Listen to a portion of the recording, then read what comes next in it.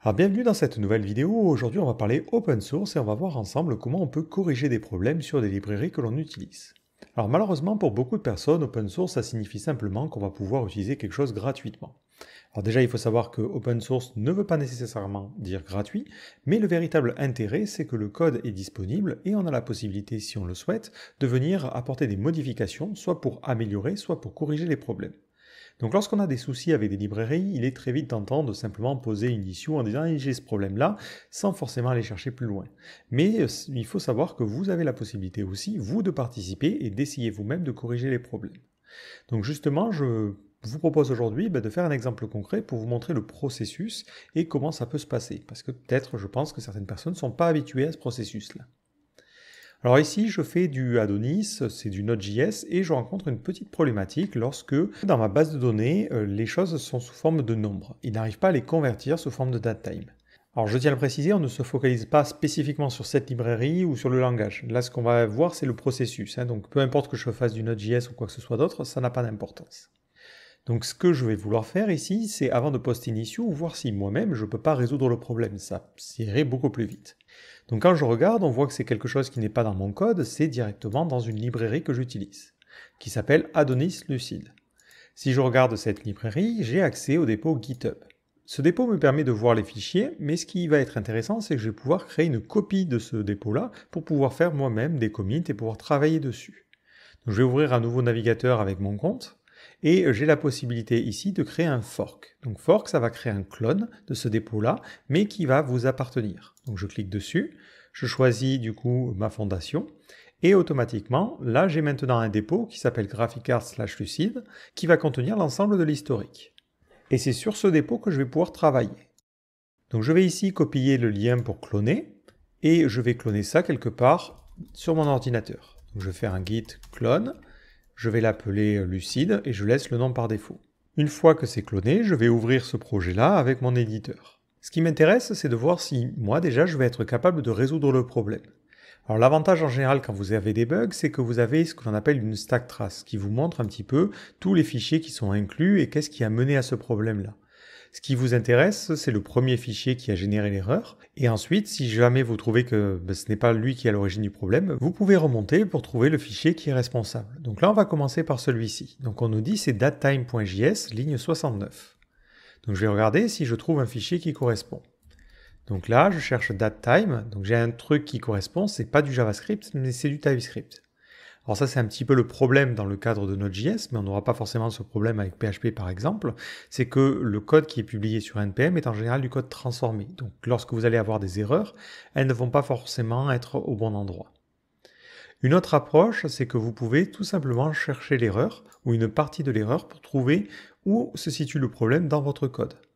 Par exemple, là, je peux chercher un cannot format, ou cette erreur-là par exemple.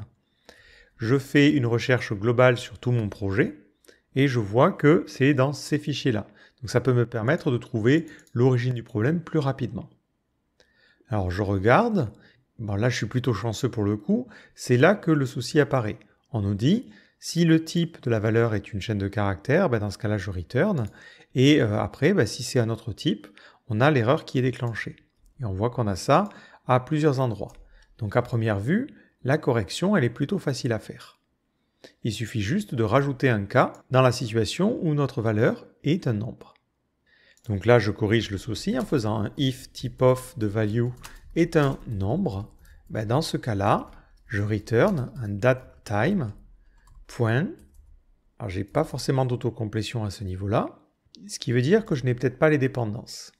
Alors du coup, on va les installer. Alors ça, ça va dépendre de votre euh, projet. Hein. Si vous travaillez sur PHP, il faudra faire un composer install. Si vous travaillez sur euh, du Python, il faudra utiliser le gestionnaire de paquets de Python, et ainsi de suite, ainsi de suite. Donc moi, dans mon cas ici, je vais utiliser yarn. Donc je me rends dans le dossier lucide et je fais yarn pour installer l'ensemble des dépendances. Une fois que c'est fait, mon éditeur va indexer les différents changements et je retente de faire un return date time, point, et là j'ai bien mon autocomplétion. Donc moi dans le cas où dans la base de données c'est ben, simplement un nombre, c'est des secondes. Donc je regarde est-ce que j'ai une méthode qui concerne les secondes? Ben, ça tombe plutôt bien et je vais du coup utiliser comme ça la valeur. Donc ça c'est le premier problème que j'avais vu et euh, on l'avait vu à un autre endroit à ce niveau-là. Donc je peux prendre la même logique euh, ici en lui disant si le type of de value est un number, dans ce cas-là, je veux retourner la valeur. Au passage, là, je n'ai pas forcément une très bonne compréhension du code. Je n'ai pas cherché à essayer de comprendre le code. J'essaie juste de rajouter le code qui va me permettre de résoudre mon souci. Donc dans cette situation-là, en fait, la valeur de retour, ça a l'air d'être une chaîne de caractères qui est formatée. Donc là, j'ai envie de faire un return datetime.from seconds, comme je l'ai fait tout à l'heure avec la valeur. Et ensuite, je lui dis de faire un to format.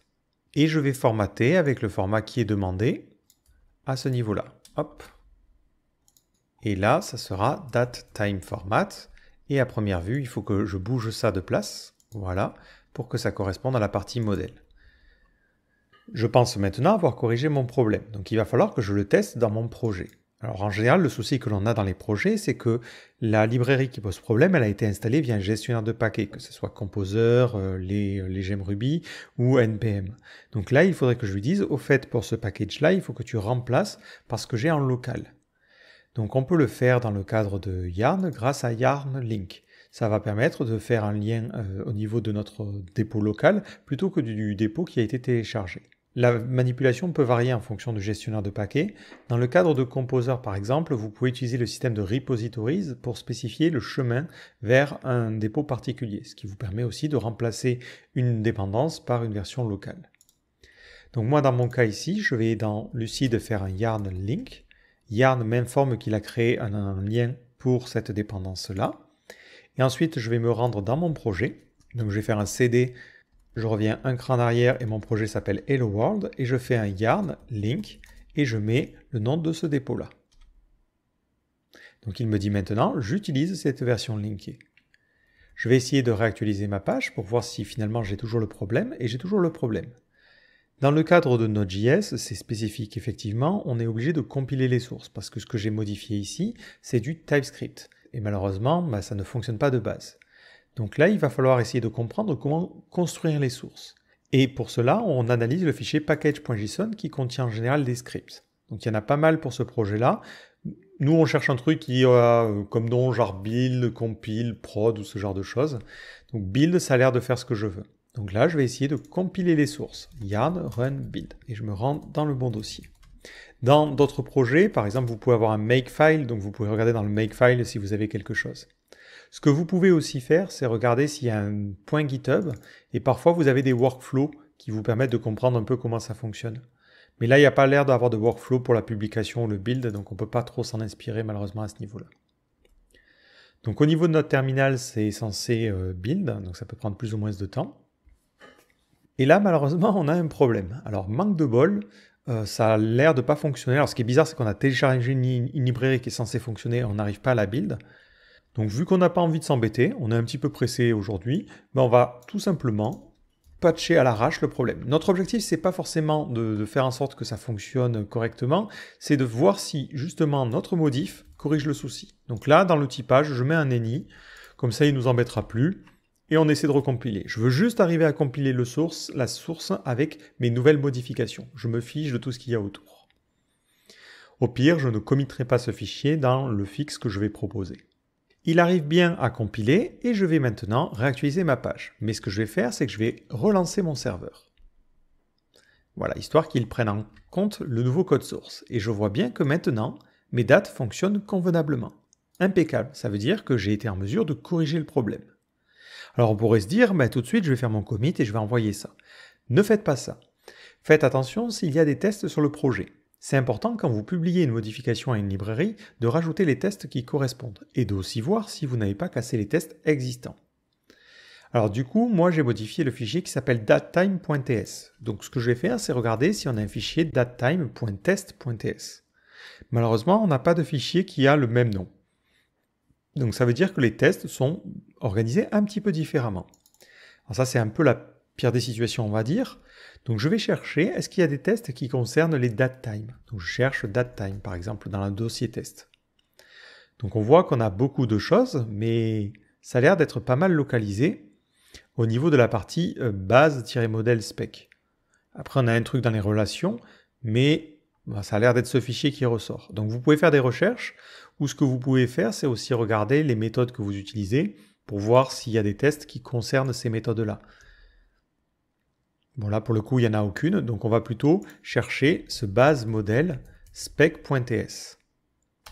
Et dans ce fichier-là, on va regarder qu'est-ce qui parle de datetime. L'idée c'est de regarder si on peut trouver des scénarios de test qui correspondent un peu à ce que l'on veut faire, et comme ça on en modifie un. C'est aussi l'intérêt quand on utilise une librairie, c'est qu'ils ont déjà tout configuré pour nous, nous on va pas avoir à s'embêter à tout à choisir le framework de test et tout ça, on veut juste écrire un test en plus. Donc on peut très souvent, hein, quand vous participez à un projet comme ça, simplement copier un test qui existe déjà. Donc on va chercher euh, datetime. Bon, il y a pas mal de, trucs. Je vais descendre jusqu'à avoir quelque chose qui me semble correct avec des tests au niveau des chaînes de caractères, par exemple. Ah, là, on a un truc qui a l'air pas mal similaire. Format date instance to string before sending to the adapter. Donc il dit qu'il formate une, date. OK. Et il ne les touche pas si c'est une chaîne de caractères. Donc ça pourrait être intéressant de prendre ce test-là, ou le précédent à la limite, voilà, et lui dire je veux formater la date depuis un nombre avant de l'envoyer à l'adapteur. Petite particularité, je vais ici désactiver les modifications que j'ai faites. Ça peut sembler un peu contre-productif, mais je veux vérifier que mon test échoue avant de justement corriger les, les problèmes. Je vais trouver les deux modifications que j'ai faites et je vais les commenter. Dans la plupart des frameworks de test, que ce soit en Node.js ou dans n'importe quelle technologie, vous avez très souvent une méthode only que vous pouvez utiliser pour activer qu'un seul test. Ça vous permet d'aller beaucoup plus vite et nous dans notre cas on veut juste lancer celui-ci.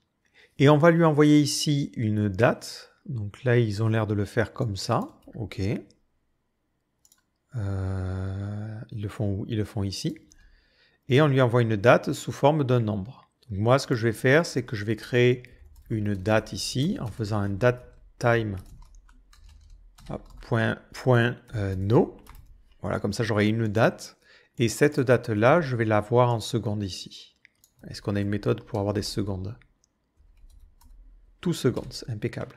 Donc je mets as any parce que sinon ben, ça crée un problème apparemment. Voilà, donc on va mettre as any. Et à la fin, je m'attends à obtenir comme résultat ici la date formatée en, iso, isodate. Voilà. Encore une fois, je n'ai pas besoin d'avoir une compréhension totale du projet pour faire ça. Au niveau du package.json, je regarde ce que je peux lancer. Donc là, je vais lancer seulement les tests sur SQLite parce que sinon ça risque d'être un peu trop violent. Donc au niveau de mon terminal, je vais nettoyer et je vais faire un yarn run et je vais lancer test SQLite. Et normalement, il ne devrait lancer que mon, test en l'occurrence. Et il me dit bien, il échoue. Impeccable, c'est ce que je m'attendais à obtenir. J'essaie maintenant de réappliquer les modifications que j'ai faites. Je vais ici mettre les mêmes commentaires que eux, comme ça j'ai plus de chances que mon, ma modif soit acceptée. Et on va faire la même chose à ce niveau-là. Hop. Donc peut-être prendre le même commentaire ici, hop, en lui disant de convertir depuis un nombre. Maintenant que je suis satisfait, je relance le test. Et mon attente, c'est que ce test soit passé au vert. Là, il continue à me donner une erreur, mais si je regarde le fichier qui est utilisé, c'est date.ts, et moi je suis en train de modifier datetime.ts. Donc ça veut dire que potentiellement on a deux fichiers qui ont ce problème-là. Donc on va éditer ce nouveau fichier, et on va faire la même modification. Voilà. Donc maintenant je relance les tests et ça passe au vert, impeccable. Donc j'ai rajouté une fonctionnalité à la librairie et j'ai rajouté le code qui permet de tester cette fonctionnalité.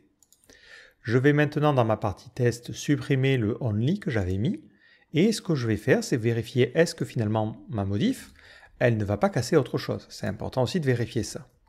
Donc je relance les tests de manière générale seulement sur SQLite et on va voir ce que ça va donner. Bon, à première vue, hein, il y a pas mal de choses qui sont en vert, donc ça c'est plutôt une bonne nouvelle pour le coup.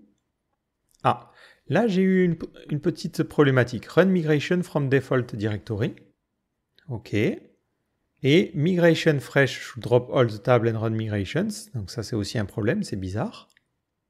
Parfois, vous pouvez avoir des faux positifs, c'est-à-dire que votre environnement est configuré d'une certaine manière qui fait que euh, certaines choses ne marchent pas.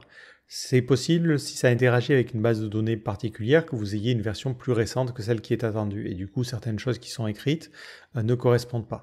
Dans ce cas-là, si vous estimez que le test qui échoue n'a pas de lien avec la modification que vous avez apportée, vous pouvez l'ignorer. Et vous verrez lorsque vous allez publier votre branche si dans l'environnement d'intégration continue qu'ils ont mis en place, c'est un environnement qui va automatiquement lancer les tests pour la librairie, votre erreur apparaît ou non. Et là, on a une petite erreur au niveau de la partie date. Alors ça semble correspondre par contre à la modification que l'on a fait. On s'attend à avoir un raise error when that column is unprocessable. Donc là, on a un souci. Donc on va essayer de voir le test qui correspond. Voilà, raise error, et qu'est-ce qu'il fait dans ce test-là? Donc il crée un user et il essaie de lui envoyer un entier, et il s'attend à avoir une erreur. Vu que nous, on a corrigé ce problème-là, on n'a plus d'erreur. Donc il faut lui envoyer un type qui ne soit pas un entier et qui soit quelque chose qui ne correspondra à rien. Donc ce que je vais faire, c'est que je vais lui envoyer un objet, comme ça, qui correspond absolument à rien. Comme ça, cet objet-là, il ne va pas être en mesure de le traiter, et du coup, on devrait avoir cette erreur. Donc là, ma modif a cassé quelque chose, mais en fait, elle a cassé un autre test parce qu'on a corrigé un problème. Mais parfois, ce que vous pouvez faire, c'est réaliser que vous avez cassé une fonctionnalité qui est euh, autre, et dans ce cas-là, il faudra modifier votre code pour faire en sorte de ne pas casser d'autres fonctionnalités. J'ai aussi vu qu'il y avait plusieurs tests. Il y en avait qui concernaient les dates et euh, d'autres qui concernaient les date time. Donc ça avait l'air d'être dans deux groupes. On avait le base modèle date et base modèle date time. Du coup, on pourrait chercher à aussi rajouter un test dans le cadre du champ qui serait un datetime. Il faut regarder bien la partie groupe par contre. Je vais essayer de replier un peu tous mes tests. Et là, on voit bien que j'ai une partie sur les dates. Voilà, où j'ai ma modif à ce niveau-là. Hop. Et ce que je vais faire, c'est que je vais la prendre. Hop. Et la mettre aussi pour les datetime. J'imagine qu'ils ont dû mettre la même logique de code finalement avec comme seule différence que c'est... Euh, un date time au lieu d'un date quoi. Donc là, j'ai rajouté mes tests, j'ai bien fait en sorte que ça fonctionne, donc je suis prêt à faire mon commit. Alors ce commit, je vais le créer sur une nouvelle branche. Donc on va éviter d'utiliser une branche qui est déjà euh, utilisée sur le système principal. Donc moi je vais créer ici une nouvelle branche.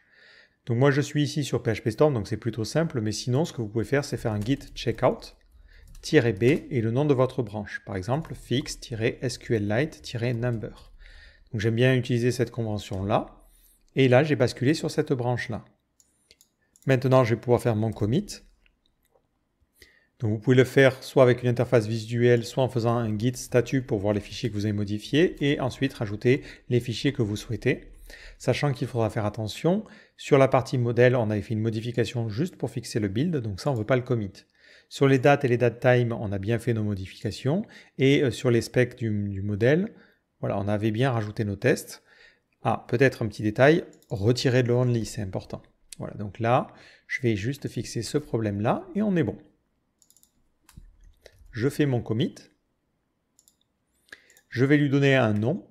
Donc je vais essayer de regarder sur le projet quelle était la convention qui était utilisée s'ils ont une convention, et c'est pas forcé. Donc ils utilisent la convention d'Angular, c'est très bien.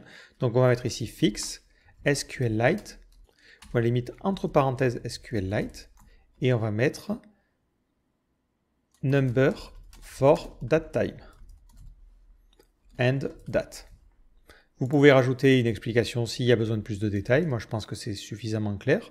Dans tous les cas, lorsque vous allez faire une MR, l'auteur aura la possibilité de merge et de squash les, commits. Donc, c'est pas forcément gênant si vous mettez des choses qui ne sont pas parfaites parfaites. Ici, je fais un commit and push. Donc, si vous êtes dans le terminal, ben, vous faites un git push origin. Et là, je fais push. Impeccable. Donc, maintenant que c'est envoyé, ce que je peux faire, c'est me rendre au niveau, de, au niveau du dépôt original et si je vais sur l'accueil, par défaut, vous allez avoir un petit bandeau. il faut que je le fasse sur le dépôt où je suis connecté. Et il me propose ici, si je vais sur Lucid, de faire ma petite pull request. Donc je clique ici. Je choisis le dépôt original. Je vais essayer d'envoyer sur la branche develop du dépôt original. Et c'est ma branche que j'essaie d'envoyer. Automatiquement, il reprend le nom du commit ici. Donc moi, je vais mettre un titre qui est un peu plus euh, clair. Et je vais mettre fixe ou plutôt handle number for date, time and date. Parfois, vous allez avoir un template qui va être fourni, donc ça c'est le meilleur des cas. S'il n'y a pas de template qui est fourni, il faut toujours essayer d'expliquer ce que vous avez fait. Donc essayez de répondre à la question pourquoi, pourquoi vous avez fait ce commit là, et ensuite comment, c'est-à-dire qu'est-ce que vous avez modifié comme code s'il y a besoin de plus d'explications. Le code peut s'expliquer lui-même, mais n'hésitez pas à expliquer. Donc moi je vais supprimer ça. Je vais essayer d'expliquer ici donc la raison de ce changement là. Donc pourquoi j'ai fait ça? Il me demande ici d'expliquer ce que j'ai fait. Donc je vais juste mettre une petite croix ici pour dire que j'ai fait un bug fixe. Euh, est-ce qu'on peut, est peut estimer que c'est une nouvelle feature? Je ne pense pas. C'est pas un breaking change en soi. Et ensuite, on me propose une checklist pour vérifier que j'ai bien tout fait. J'ai lu la partie contribution. J'avoue que je ne l'ai pas fait. Donc je vais le lire juste après. Est-ce que les lint et les unit tests passent? Oui, parce que je viens de les lancer, mais au pire, je le verrai. J'ai ajouté les tests qui permettent de prouver les choses. Donc c'est ce que je vous disais, il y a beaucoup beaucoup de cas où, votre MR ne sera pas accepté si vous n'avez pas lancé les tests. Et j'ai euh, rajouté la documentation. Donc ça, je ne l'ai pas vraiment fait. Je peux rajouter des commentaires supplémentaires, mais je estime que ce n'est pas la peine. Et je coche la case pour autoriser les mainteneurs à rajouter des modifications si c'est nécessaire. Donc en dessous, vous pouvez lister les fichiers. Donc là, ce que je vous invite à faire, c'est avant de soumettre votre MR, vérifier que vous êtes complètement satisfait de tout ce que vous avez fait, que vous n'avez pas forcément laissé de bugs ou que vous avez laissé des petits consoles.log, ce genre de choses. Il faut toujours faire une petite review du code que l'on soumet. Donc là, je suis satisfait et je vais créer ma pull request. Alors maintenant, je réalise que j'ai peut-être laissé une petite erreur. Là, on voit qu'il soulignait ça en rouge. Donc il soulignait ça en rouge parce que dans le truc original, le constructeur, il le mettait as lucid model. Donc il faut que je corrige ce problème-là. Donc c'est pas gênant, hein. vous pouvez continuer à travailler sur votre branche pendant que l'AMR est en cours. L'avantage, c'est que ça va automatiquement être pris en compte par le système et que ça va rajouter votre MR à la suite des autres. Donc là, je corrige les petits soucis que j'ai au niveau de la syntaxe. Je pense que c'est un peu trop long, donc à la limite, on va faire un const modèle égale ça. Voilà, on va séparer ne faut pas hésiter. Et là, on fait un modèle.query. Et impeccable. Donc, on n'a plus rien qui est souligné en, rouge. Ça veut dire que le linter fonctionne bien. Et je vais rajouter un nouveau commit. Donc, c'est un commit qui concernera que le formatage. Donc là, je vais mettre style. Et on va mettre line length. Je commit et je pousse. Hop, et vous allez voir que sur GitHub, automatiquement, il va porter ce nouveau commit dans la liste des commits, et ça veut dire que ça va bien fonctionner. Donc certains dépôts vont automatiquement faire de l'intégration continue, c'est-à-dire que lorsque vous allez faire une AMR, ça va lancer des processus qui vont vérifier que votre code est bon. Ce qu'il faudra alors faire, c'est voir un petit peu ce qui se passe et voir si vous avez des problèmes ou non. Dans le cadre de ce dépôt-là, j'ai l'impression qu'ils attendent que quelqu'un valide les choses avant de lancer le workflow, donc je ne pourrais pas forcément vous montrer cette étape-là. Donc maintenant, l'étape qui vous reste à faire, ben, c'est tout simplement d'attendre et de voir s'il y a des personnes qui commentent votre MR, qui l'acceptent ou non. Évitez de faire des euh, messages en mode vous avez vu ma, MR, vous avez vu ma MR, euh, up, up, up ou ce genre de choses. Ça ne sert à rien. Là, laissez le temps. Hein. Il faut penser que derrière chaque projet open source, ben, il y a des humains et qu'ils ne sont pas forcément entièrement dévoués à ce projet-là en particulier. Donc soyez patient à ce niveau-là. Si vous avez véritablement besoin de ce fixe-là pour votre projet, ce que vous pouvez faire, c'est utiliser votre fork en attendant. C'est pas bien gênant. Enfin, ne le prenez pas forcément personnellement au niveau des remarques que vous allez obtenir. Parfois, le mainteneur peut vous dire ben non, je veux pas cette fonctionnalité. Il faut comprendre que le projet lui appartient et il peut choisir de ne pas rajouter des fonctionnalités s'il estime que c'est pas logique par rapport à ce qu'il a fait. C'est avant tout lui qui est le maître de son code et qui choisit ce qu'il veut faire. De la même manière, dans certains projets, vous allez très souvent recevoir des remarques sur votre manière de coder ou sur, les, euh, ou sur la logique que vous avez appliquée. Ne voyez pas ça comme des critiques pures et simples, voyez ça comme une manière de vous améliorer et essayer de corriger les problèmes. Vous pouvez rajouter des commits sur votre branche pour rajouter des corrections. Certains mainteneurs sont très très stricts en termes de formatage et ils n'hésiteront pas à vous dire ce qui ne va pas. Mais vraiment, j'insiste sur ce point, ne le prenez pas personnellement, c'est une manière aussi de s'améliorer et il faut penser que si tout le monde commence à publier du code un peu comme il le veut dans un projet open source, à la fin le projet va être absolument très compliqué à comprendre et pas facile à maintenir. Donc c'est très important qu'il y ait cette rigueur justement sur, sur ces projets-là. Donc à travers cette vidéo, ben, j'espère que ça vous permettra de mieux comprendre comment on peut participer à un projet open source, comment vous pouvez vous-même corriger les problèmes et publier les choses. Pour résumer, on commence par créer un fork, ensuite on clone ce fork sur notre euh, ordinateur, on va utiliser ce fork à la place du projet original grâce à la commande link dans le cadre de Yarn, soit en utilisant un dépôt particulier via Composer, soit une autre méthode. On essaie de corriger le problème pour voir si on arrive à trouver une solution rapidement. Si on a trouvé une solution, ce que l'on fait, c'est que l'on va écrire les tests, on enlève les corrections que l'on a fait, on voit si les tests échouent. Les tests vont normalement échouer, on re-rajoute nos modifs et on voit si les tests ont été résolus grâce à nos modifs. Une fois qu'on est satisfait, on lance tous les tests pour voir si notre modif n'a pas cassé d'autres choses. Une fois que l'on a terminé, on peut ensuite envoyer ces modifications au niveau du, dépôt en faisant une petite pull request. Au niveau de la pull request, expliquez bien pourquoi vous avez fait ces changements-là, quel a été le besoin ou la problématique que vous cherchez à résoudre, et euh, expliquez un petit peu ce que vous avez fait dans votre code si le code ne se suffit pas à lui-même. Et enfin, soyez patient et soyez prêt à recevoir des critiques vis-à-vis -vis de votre code et de vous améliorer en fonction. Donc j'espère que cette vidéo vous a plu et je vous donne rendez-vous dans de prochaines vidéos. Ciao